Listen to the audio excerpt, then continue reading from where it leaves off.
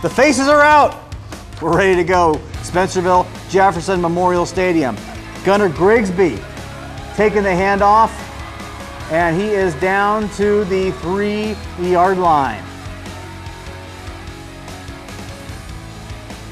Very next play, this is Grigsby punching it in for the touchdown.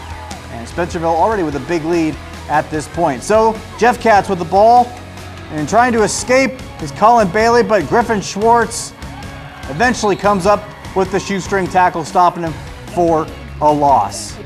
Then Spencerville back with the football. Carter Lehman gets the call, and Jefferson gets him. Stonewalls by a bunch of defenders, but Spencerville otherwise uh, no problem tonight with the Jeff Cats. 56 to nothing. Both teams awaiting their fate to find out how they will fare or if they will have Week 11 matchups.